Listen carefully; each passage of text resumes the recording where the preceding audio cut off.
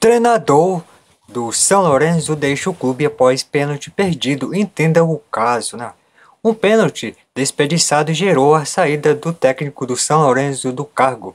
Afinal, Leandro Romagnoli pediu demissão por ter sua autoridade desrespeitada dentro do clube. Né? No empate em 1 a 1 com Godoy Cruz no último sábado 12, o time teve uma penalidade máxima no minuto finais. Né? Francisco Frederizeski foi para a cobrança e perdeu assim, assim após a partida. O técnico estava furioso, pois os jogadores não seguiram a ordem dos cobradores de, designada por ele. Né?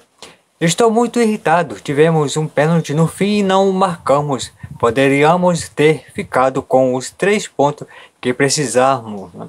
Muito e aí saímos daqui com com sabor amargo, né? Joguei 20 anos e deixei um jogador designado.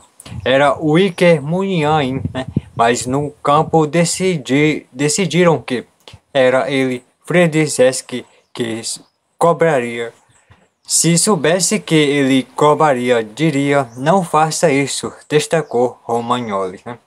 Romagnoli deixa o clube, né? São Lourenço. O treinador é um dos ídolos recentes do clube. Foi meia de sucesso com 377 jogos e 3 títulos. Conquistado é, conquistado Libertadores, Copa Sul-Americana e Mercosul. Né? Técnico faz campanha ruim no São Lourenço. O Manhola estava no clube desde o início do ano. No entanto, a equipe vem fazendo campanha ruim no Campeonato Argentino e estava em, 20, em 24 em um total de 28 equipes. Caso vencesse, o Godoy Cruz assumiria a 19 posição. Ou seja, como às vezes o. Né? O episódio do pênalti perdido foi o, o estopim para sua saída, conforme foi anunciado pelo São Lourenço no último domingo 13. O Magnoli não gostou de ser desrespeitado em campo. Só tem palavras de agradecimento ao Pipe e à sua comissão técnica pelo trabalho, né? pela dedicação e principalmente por sempre priorizar a necessidade do São Lourenço, acima de tudo com a dor de que o jogador mais vencedor da história não continue no clube.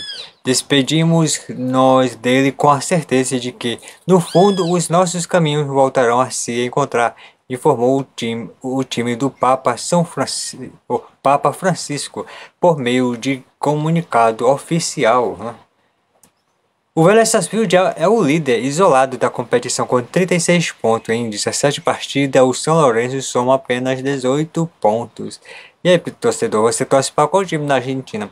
Eu torço para o River Plate. E você torce para o Boca Juniors, São Lourenço, Racing, essas fios, estudiantes, né? Os principais times da Argentina. Eu torço pro River Plate. Você, torcedor, torce para qual clube da Argentina? Meu Deus do céu.